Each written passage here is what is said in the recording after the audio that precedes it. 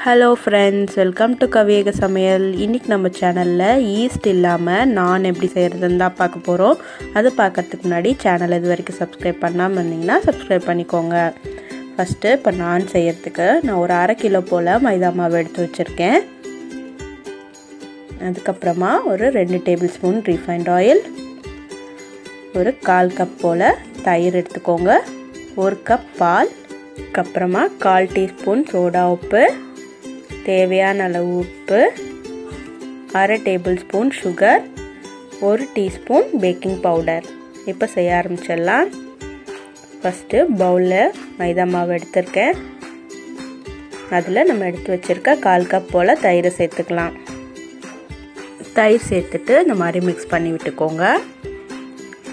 அதுக்கப்புறமா நம்ம பால் எடுத்துருந்தோம் இல்லையா? அதை எடுத்துக்கலாம். அதில் வந்து நம்ம எடுத்து வச்சுருந்த பேக்கிங் சோடா அதாவது சோடா உப்பு அதுக்கப்புறம் உப்பு அதுக்கப்புறமா சுகர் அதுக்கப்புறம் பேக்கிங் பவுடர் நம்ம ஈஸ்ட் போடாதனால இது ரெண்டுமே போடணும். பேக்கிங் சோடாவும் போடணும் பேக்கிங் பவுடரும் போடணும். இப்போது இது ரெண்டும் மிக்ஸ் பண்ணிங்கன்னா அப்படியே பால் நல்லா பொங்கி வரும். அதை வந்து இந்த மாவோட சேர்த்துக்கலாம். சேர்த்துட்டு நல்லா பிசைஞ்சு விட்டுக்கலாம். பால் எல்லா இடத்துலையும் படுற மாதிரி பிசைஞ்சதுக்கப்புறமா நம்ம கையால் இந்த மாதிரி எல்லா இடத்துலையும் பால் படுற மாதிரி பிசைஞ்சுக்கோங்க. பிசைஞ்சிட்டு எண்ணெய் சேர்த்துக்கலாம். இப்போதைக்கு ஒரு டேபிள் ஸ்பூன் மட்டும்தான் நான் சேர்க்குறேன். சேர்த்துட்டு பிசைஞ்சிக்கலாம். அதுக்கப்புறமா கொஞ்சம் கொஞ்சமாக தண்ணி சேர்த்து மாவு பிசைஞ்சிக்கலாம். நல்லா சாஃப்டான மாவாக பிசைஞ்சு எடுத்துக்கணும். ஃபஸ்ட்டு மாவு பிசு பிசுன்னு கையில் ஒட்டுற மாதிரி தான் இருக்கும். நீங்கள் பிசைஞ்சிட்டே இருந்தீங்கன்னா நல்லா மாவு சாஃப்டாக வந்துடும் இங்கே பாருங்கள் இந்த மாவு இந்த அளவுக்கு வந்ததுக்கப்புறமா நம்ம அடுப்பு மேடையில் எடுத்து போட்டு இந்த மாதிரி நல்லா அழுத்தி இழுத்து பிசையணும். இந்த மாதிரி நம்ம உள்ளங்கையை வச்சு இந்த மாதிரி அழுத்தம் கொடுத்து பிசைஞ்சு எடுத்துடுங்க. இது மாதிரி ஒரு அஞ்சு நிமிஷத்துலேருந்து பத்து நிமிஷம் போல் பிசைஞ்சிங்கன்னா மாவு நம்ம கையில் ஒட்டாமல் நல்லா சாஃப்டாக கிடச்சிரும். பாருங்கள் இந்த மாதிரி நல்லா சாஃப்டாக இருக்க பாருங்கள் இது ஒரு அரை மணி நேரம் போல் மூடி வச்சிடலாம்.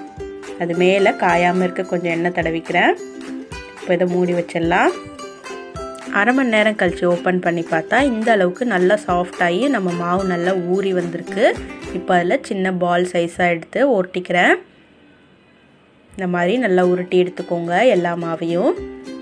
அதுக்கப்புறமா உருட்டினதுக்கப்புறமா நம்ம சப்பாத்தி மாதிரி திரட்டுறதுக்கு நான் இப்போது மைதா மாவு தான் தொட்டுக்கிறேன். நீங்கள் கோதுமை மாவு கூட தொட்டுக்கலாம். நம்ம நார்மலாக எந்த அளவுக்கு சப்பாத்தி திரட்டுவோமோ எந்த திக்னஸில் வைப்போமோ சப்பாத்தியை அந்த திக்னஸில் வச்சாலே போதுமானது. இப்போ நல்லா திரட்டியாச்சு. திரட்டினதுக்கப்புறமா நான் இப்போது ஒரு கப்பில் கொஞ்சமாக தண்ணி எடுத்து வச்சுருக்கேன்.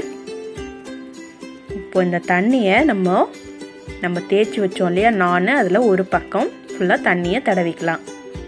எல்லா இடமும் படுற மாதிரி தடவி விட்டுக்கோங்க தடவுனதுக்கப்புறமா நல்லா சூடான தோசைக்கல்ல தண்ணி தடவுனோம் இல்லையா? அந்த பக்கம் தோசைக்கல்ல படுற மாதிரி போட்டுக்கோங்க. அப்படி போடும்போது நம்ம லான் வந்து சப் தோசைக்கல்ல நல்லா ஒட்டிக்கும். ஹை ஃப்ளேம்லே வச்சுக்கோங்க. இப்போ போட்டு ஒரு நிமிஷத்தில் மேலே இந்த மாதிரி பபுள்ஸ் வரும். அந்த நேரத்தில் இப்படி தோசைக்கல்ல திருப்பி நம்ம டைரெக்டாக ஃப்ளேமில் காட்டலாம். அப்போ நல்லா உப்பி வரும் உங்களுக்கு. பாருங்கள் நல்லா எல்லா சைடும் நெருப்பில் படுற மாதிரி சுற்றி எடுத்துக்கோங்க. நம்ம தண்ணி தடவி இருக்கிறதுனால அது கீழே விழுவாது. கீழே விழுந்துருமோங்கிற பயம் வேண்டாம். இப்போது எடுத்துடலாம். எடுத்ததுக்கப்புறமா மேலே பட்டர் தடவிக்கோங்க. இது அப்படியே பிளெயின் ஆனால் கூட சாப்பிட்லாம். பட்டர் தடவுனா இன்னும் டேஸ்ட்டாக இருக்கும். இதே மாதிரியே நீங்களும் செஞ்சு பாருங்கள் இந்த நான் ரொம்ப சாஃப்டாக இருக்கும். செஞ்சு பார்த்துட்டு அப்படின்னு சொல்லி கமெண்ட் செக்ஷனில் சொல்லுங்கள் இந்த வீடியோ உங்களுக்கு பிடிச்சிருந்தா சேனலுக்கு சப்ஸ்கிரைப் பண்ணுங்கள்